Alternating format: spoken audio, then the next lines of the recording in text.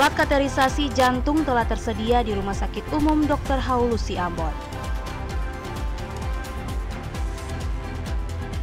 Warga Hunut Durian Patah tolak Indomaret dan Alfamidi di desa mereka.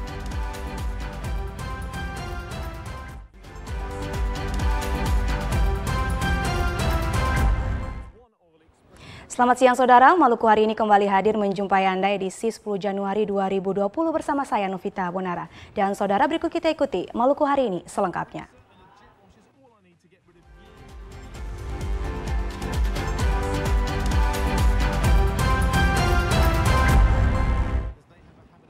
Saudara Rumah Sakit Dr. Haulusi Ambon saat ini sudah dilengkapi dengan alat katerisasi jantung. Pengoperasian ruangan beserta alat tersebut direncanakan pertengahan tahun 2020.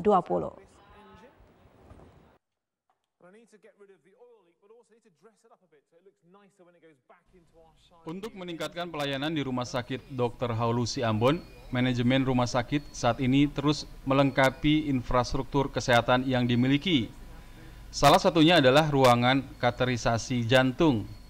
Keberadaan ruangan katerisasi jantung di rumah sakit ini mendapat respon positif dari Komisi 4 DPRD Maluku.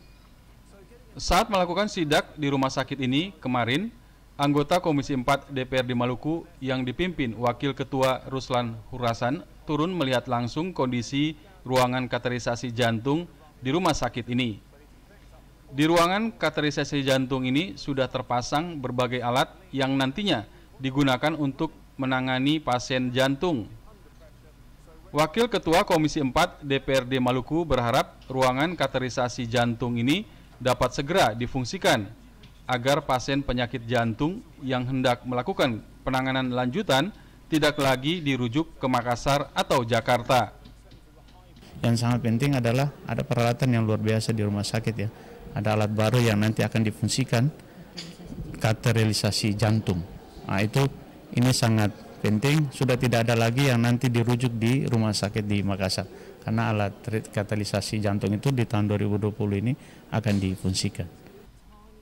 Keberadaan ruangan katerisasi jantung di Rumah Sakit Dr. Haulusi saat ini juga didukung dengan dokter spesialis jantung sebanyak tiga orang Direncanakan pertengahan tahun 2020, ruangan katerisasi jantung di rumah sakit ini sudah dapat digunakan untuk melayani pasien jantung di daerah ini.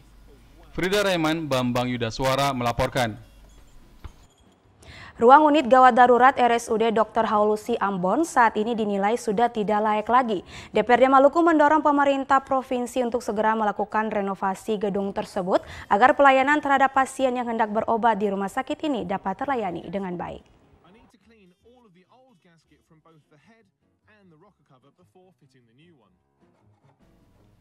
Masyarakat yang datang berobat di Rumah Sakit Dr. Haulusi Ambon terkadang mengeluh terhadap pelayanan yang diterima.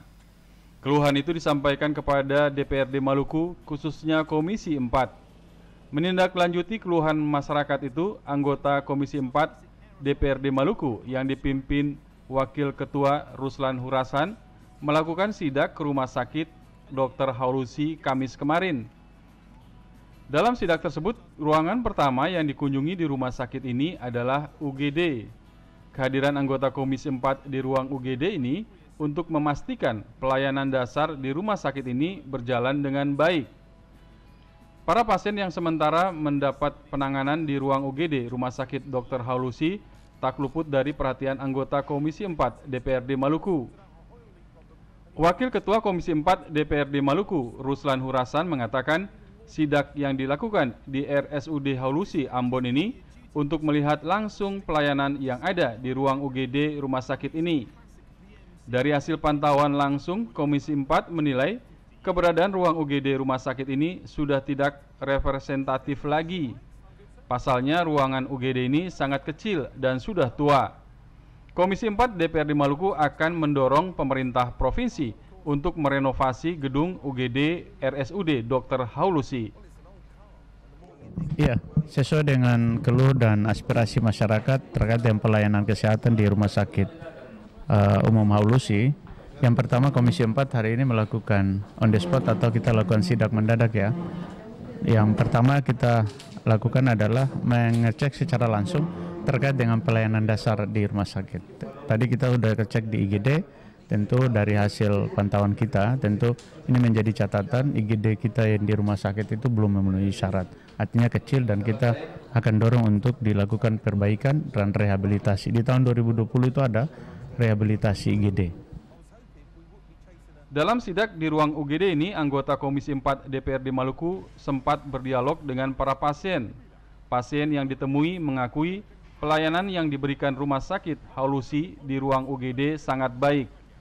Frida Raiman, Bambang Yudaswara melaporkan. Selain itu, alat CT scan milik RSUD Dr. Haulusi Ambon saat ini mengalami kerusakan. Akibatnya, pasien yang hendak melakukan CT scan di rumah sakit ini tidak terlayani.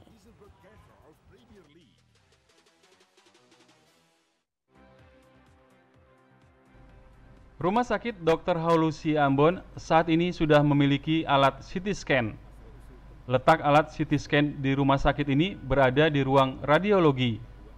Namun kondisi alat CT scan di rumah sakit ini sementara mengalami kerusakan. Akibatnya pasien yang hendak melakukan CT scan di rumah sakit ini tidak bisa dilayani. Kondisi ini mengundang perhatian dari Komisi 4 DPRD Maluku dalam sidak di rumah sakit ini, anggota Komisi 4 DPRD Maluku yang dipimpin Wakil Ketua Ruslan Hurasan melihat langsung kondisi alat CT scan di rumah sakit ini. Saat melihat dari dekat kondisi alat CT scan, anggota Komisi 4 mendapatkan penjelasan dari PLT Direktur RSUD Haulusi Ambon, Dr. Rita Taihitu. Menurut penjelasan PLT Direktur RSUD Haulusi, kerusakan yang terjadi pada alat CT scan terletak pada baterai di alat tersebut. Saat ini pembelian baterai telah dilakukan oleh pihak rumah sakit. Komisi 4 DPRD Maluku berharap apabila baterai CT scan sudah ada, diharapkan alat tersebut dapat difungsikan agar bisa melayani masyarakat yang hendak melakukan CT scan di rumah sakit ini.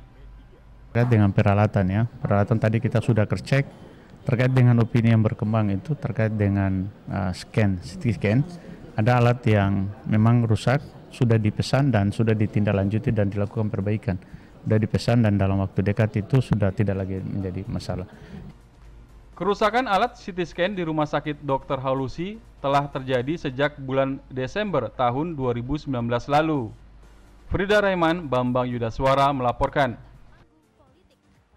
Saudara puluhan aparatur sipil negara di lingkup pemerintah Kabupaten Buru akan siap mendapatkan sanksi tegas. Sanksi itu berupa penahanan gaji berkala dan penundaan pakat.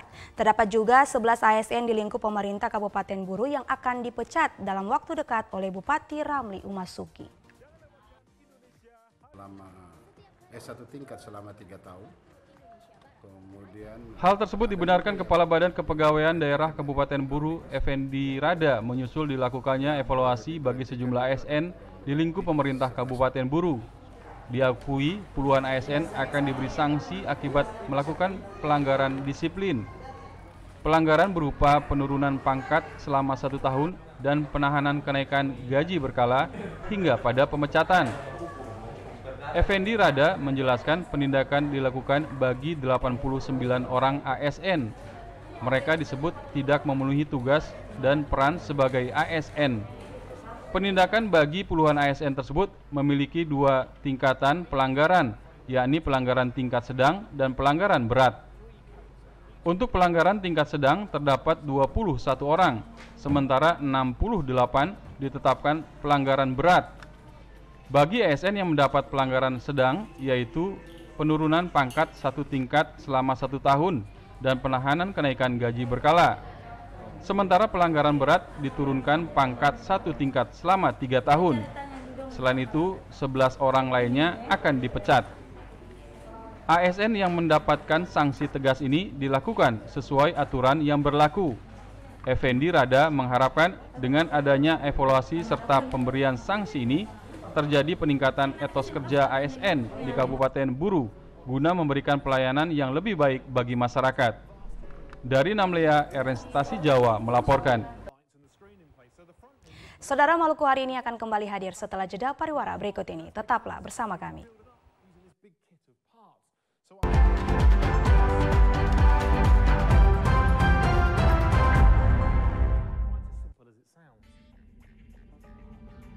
Di era informasi yang semakin cepat,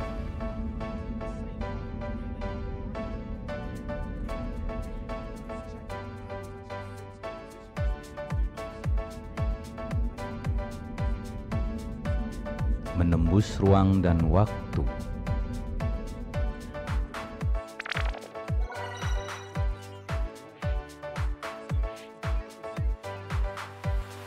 Kami hadir memberi kemudahan pelayanan publik.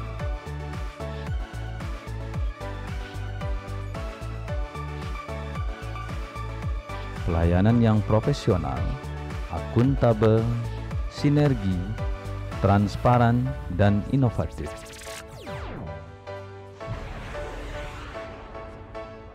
Ahu Online, kami pasti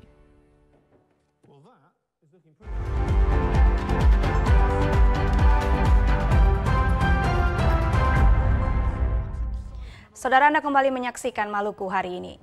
Perwakilan masyarakat Hunut Durian Patah Kecamatan Baguala Kota Ambon, Sakarias Pati, siang kemarin mendatangi DPRD Kota Ambon. Kedatangannya untuk menyampaikan aspirasi warga Hunut Durian Patah terkait akan dibangunnya minimarket modern Indomaret dan Alfamidi di desa mereka.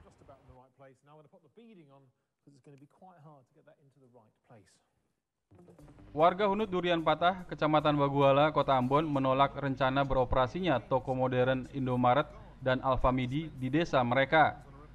Penolakan warga Hunut dan Durian Patah lantaran minimarket modern Indomaret dan Alfamidi dianggap dapat mematikan toko-toko kecil di perkampungan mereka. Penolakan warga Hunut Durian Patah dilakukan dengan mendatangi DPRD Kota Ambon.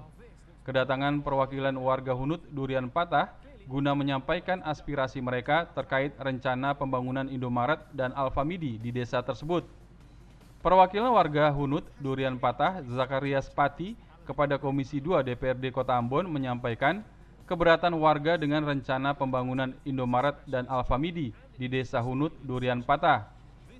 Menurut Pati, pemerintah Kota Ambon harus meninjau kembali izin pembangunan kedua minimarket modern tersebut karena dinilai akan mematikan usaha kios milik rakyat setempat. Menanggapi hal itu, Komisi 2 DPRD Kota Ambon menyatakan akan memanggil pihak Indomaret dan Alfamidi untuk menyampaikan aspirasi warga Hunut Durian Patah. Namun DPRD juga tidak dapat memutuskan sepihak terkait persoalan ini. Sementara itu, Kepala Dinas Perindustrian dan Perdagangan Kota Ambon, Pete Lewol, mengatakan pemerintah Kota Ambon pada prinsipnya tidak bisa menghalangi pengusaha untuk berinvestasi di kota ini. Lewol mengatakan pemerintah kota tidak memiliki sumber daya alam yang mumpuni untuk meningkatkan PAD.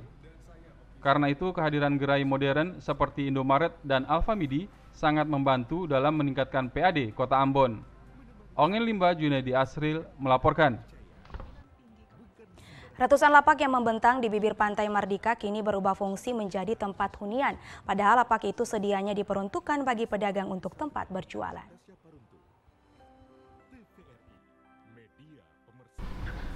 Ratusan lapak yang dibangun pemerintah kota Ambon untuk mengurai kemacetan di kawasan Pasar Mardika kini berubah fungsi menjadi tempat hunian. Lapak-lapak itu sejatinya hanya diperuntukkan untuk tempat berjualan, bukan dijadikan tempat tinggal para pedagang. Akibatnya, sebagian besar para pedagang terpaksa melakukan aktivitas di trotoar dan badan jalan. Kondisi seperti ini pastinya mempengaruhi terhadap kemacetan di kawasan tersebut. Beberapa waktu lalu, pemerintah kota bersama Satpol PP telah melakukan sidak langsung ke lokasi untuk mengetahui pasti kondisi terakhir dari penggunaan lapak dimaksud. Hasilnya, didapati sebagian besar para pedagang memanfaatkan lapak-lapak itu untuk tempat tinggal sementara. Kendati telah ditertibkan oleh petugas Satpol PP, namun kondisi seperti itu masih saja terlihat. Karenanya, dibutuhkan ketegasan pemerintah kota untuk melakukan penertiban secara menyeluruh, sehingga marwah pasar dapat dikembalikan sesuai peruntukan. Abu Sabawa, Cak Tamaila, melaporkan.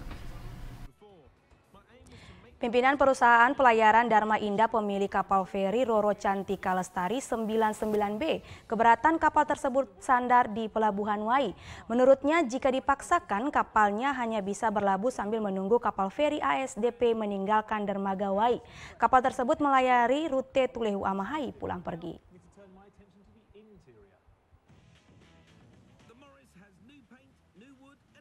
Kapal peri Roro Cantika Lestari 99B sejak Senin lalu telah beroperasi untuk rute Ambon Amahai pulang pergi. Namun berbeda dengan kapal peri lainnya yang melayari rute yang sama. Kapal Roro itu sandar di Pelabuhan Tulehu. Pemilik kapal Johnny Dekwelju beralasan kapal tersebut sandar di Tulehu karena tidak ada kapal lain di sana. Kapal tersebut tidak bersandar lama karena begitu tiba dan menurunkan penumpang kapal tersebut kembali mengangkut penumpang dan berlayar lagi. Jika dipaksakan untuk sandar di pelabuhan Wai, maka kapal terpaksa berlabuh sambil menunggu kapal peri milik ASDP keluar dari dermaga baru bisa sandar. Hal ini pastinya sangat mengurangi penumpang dan pengelolaan kapal.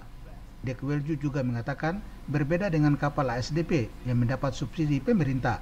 Kapal Roro miliknya tidak memperoleh subsidi. Karenanya jika harga tiket hendak disamakan dengan kapal peri lainnya, Dekwelju meminta pemerintah daerah memberikan subsidi bagi operasional kapal tersebut. Riki Nikiulu dan Edmond Tupan melaporkan. Masyarakat Dusun Siwang, Desa Urimesi mendatangi Komisi 2 DPRD Kota Ambon Kamis kemarin. Kedatangan warga Dusun Siwang untuk meminta dukungan DPRD dalam menaikkan status dusun men mereka menjadi desa.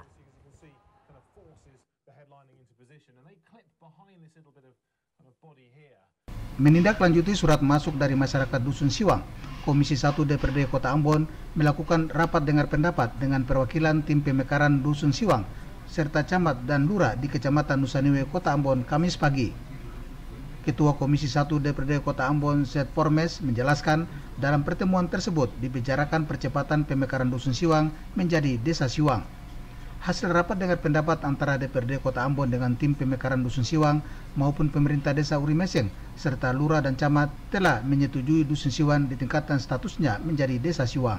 Hasil rapat dengar pendapat tadi kita sudah putuskan yang pertama bahwa semua pihak itu mendukung Siwang itu dia ditingkatkan statusnya dari dusun menjadi desa karena alasan rentang kendali, pelayanan publik, pelayanan administrasi kependudukan, dan juga uh, sangat menguntungkan kalau itu dia jadi desa punya alokasi dana desa maupun ADD sendiri. Nah, bahkan Saniri Negeri Siwang juga, Saniri Negeri Hurimeseng sebagai desa induk juga mendukung kalau Siwang itu dimekarkan jadi desa sendiri. Sehingga eh, kami sudah merekomendasikan kepada tata pemerintahan agar sesegera mungkin melakukan pendampingan kepada tim dan juga pemerintah dusun uh, Siwang untuk mempersiapkan seluruh dokumen-dokumen administratif sebagai sebuah persyaratan undang-undang.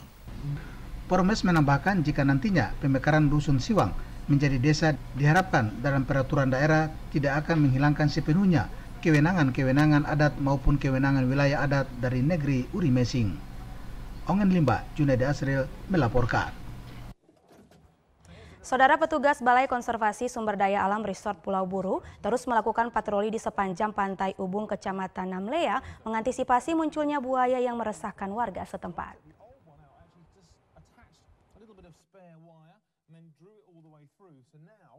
Petugas Balai Konservasi Sumber Daya Alam Resort Pulau Buru bersama aparat dari Dinas Lingkungan Hidup Pulau Buru, pemerintah desa, Koramil, dan tokoh masyarakat yang berada di sekitar Pantai Ubung, Kecamatan Namlea, Kabupaten Buru.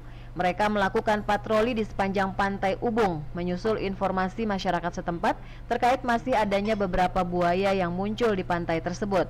Menurut warga, masih ada tiga ekor buaya yang kerap terlihat. Kemunculan hewan buas itu sangat meresahkan warga. Kepala BKSDA Resort Pulau Buru Abu Bakar Ipa mengatakan patroli ini akan terus dilakukan pihaknya dibantu aparatur dan warga setempat hingga tujuh hari nanti. Konservasi sumber daya alam Pulau Buru melakukan patroli rutin di kawasan Panlima Desa Ubung berhubung informasi masyarakat ada buaya yang berkeliaran di sekitar kawasan ini. Petugas BKSDA hingga kini masih terkendala untuk mengevakuasi dan mendokumentasikan keberadaan buaya-buaya tersebut karena posisinya yang cukup jauh. Namun patroli dan penjagaan akan terus dilakukan untuk berusaha menggiring atau menangkap buaya yang masih berkeliaran. Krisin Sipahelut Kurniawan melaporkan. Maluku terkenal dengan ikatan persaudaraan Pela dan Gandong. Selain hal itu masih ada hubungan lainnya antara desa tetangga yang warganya berbeda agama. Hubungan-hubungan ini menciptakan toleransi dan kebersamaan termasuk dalam acara-acara keagamaan.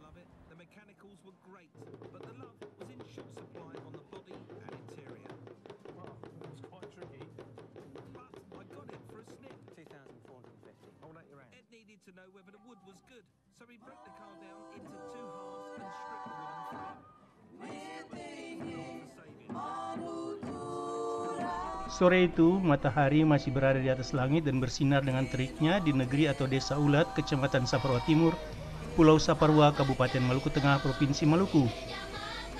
Namun di depan gapura negeri, telah berkumpul ratusan orang baik raja maupun tua-tua adat dan masyarakat lainnya tidak ketinggalan siswa sekolah dasar di negeri Ulat, serta ibu-ibu yang membentakan kain putih panjang yang disebut kain gandong. Mereka menunggu dengan sabar warga desa tetangga mereka yakni desa Sirisori Islam. Dari namanya saja sudah ketahuan bahwa mereka seluruhnya beragama Islam. Sementara warga negeri Ulat 100% beragama Kristen Protestan. Warga negeri Sirisori Islam akan datang ke negeri Ulat untuk mengantarkan bantuan mereka yang akan digunakan untuk acara peresmian gedung gereja Taman Pua, Jemaat GPM Ulat dua hari lagi. Sekitar pukul 4 sore terlihat rombongan warga negeri Siri Sore Islam memasuki gapura negeri Ulat. Lebih dari 200 orang banyaknya. Mereka menari dan bersuka disambut anak-anak sekolah dan lilitan kain gandong sebagai tanda diterimanya mereka sebagai saudara oleh warga negeri Ulat. Mereka membawa nampan berisi kue-kue dan makanan lainnya yang akan disajikan pada saat peresmian gedung gereja negeri Ulat.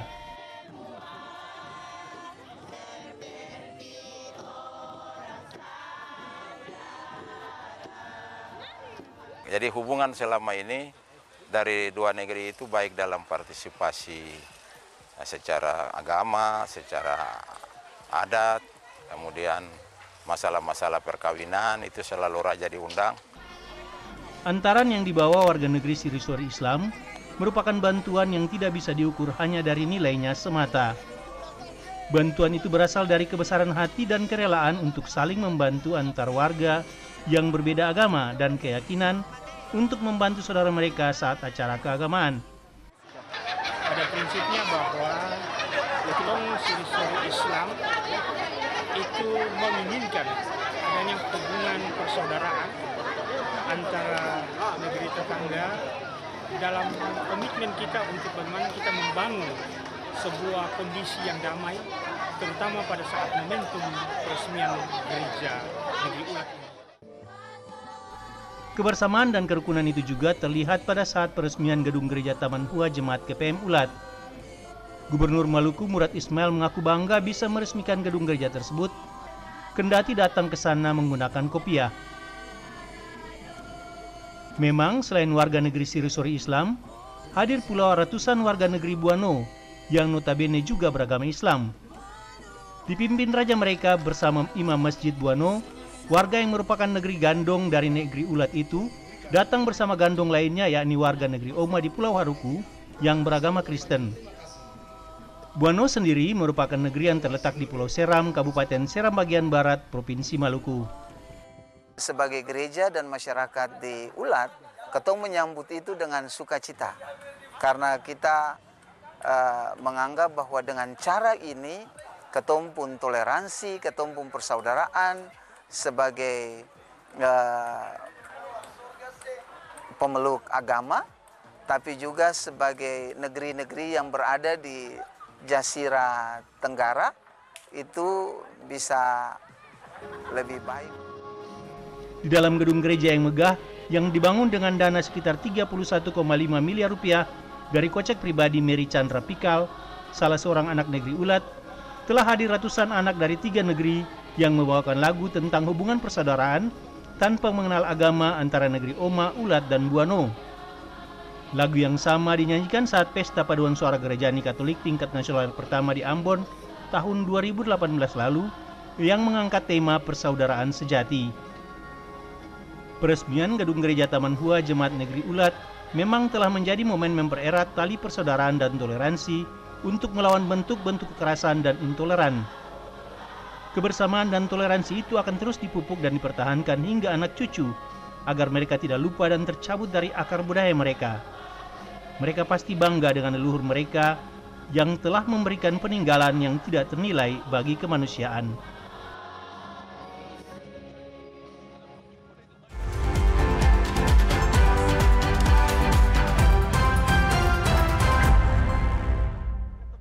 Saudara penyampaian berita tadi mengakhiri Maluku hari ini. Kami yang bertugas mengucapkan terima kasih atas perhatian dan kebersamaan. Sampai jumpa.